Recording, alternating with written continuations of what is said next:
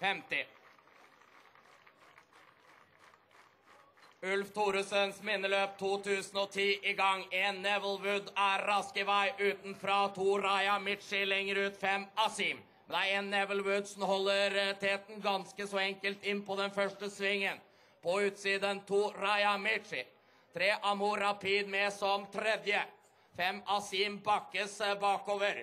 En Nevlewood det går fort rundt den første svingen. Toraya Michi er oppe på siden og klemmer til. Fram mot første 500 meter. Lutfi Corcini vil fram.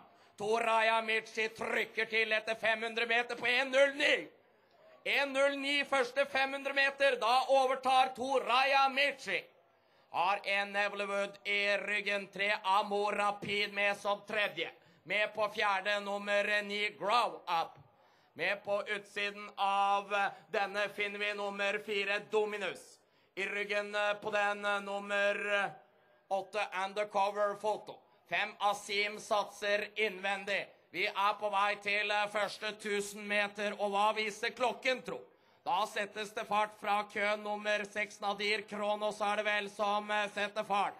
1000 meter 1.13,3.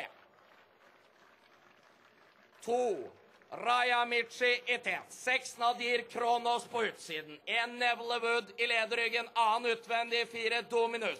Med i tredje par innvendig. Der finner vi nå tre Amo Rapid. Fjerde innvendig på nummer ni Grow Up. Med i tredje utvendig nummer ti IC. Sist utvendig åtte cover Photo. Ut på den siste bortre langsiden så er det to Raya Michi som leder. En Nevlewood i ryggen, seks Nadir Kronos på utsiden. Da støtes det fra køen. Det er nummer ti IC som setter fart.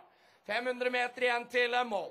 En To Raya Michi leder fortsatt med seks Nadir Kronos på utsiden. En Nevlewood leter åpning bak der. Fire Dominos forsøker. Det samme gjør nummer åtte Undercover Photo. Men det er Toraya Michi som fortsatt har kontrollen. Seks Nadir Kronos på utsiden. Ut mot oppløpet. Lutfi Golgini, Toraya Michi har kontrollen. Skal det bli Lutfi Golgini, da? Toraya Michi, så letter han litt på tommene. Nummer Toraya Michi. Toraya Michi. Ambletonian, here we go!